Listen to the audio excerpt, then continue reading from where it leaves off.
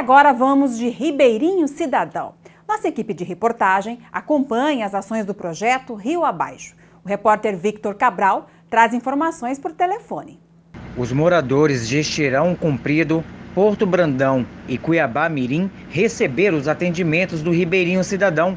Entre os serviços oferecidos de graça estão consultas com dentistas e médicos, distribuição de medicamentos, corte de cabelo e emissão de documentos. As crianças ribeirinhas também ganharam presentes que foram doados, por exemplo, pelos servidores do Poder Judiciário. As embarcações com diversos serviços seguem nas comunidades ribeirinhas até dia 14 de fevereiro. E depois da etapa fluvial, vem a etapa terrestre, que tem início no dia 17 e segue até 25.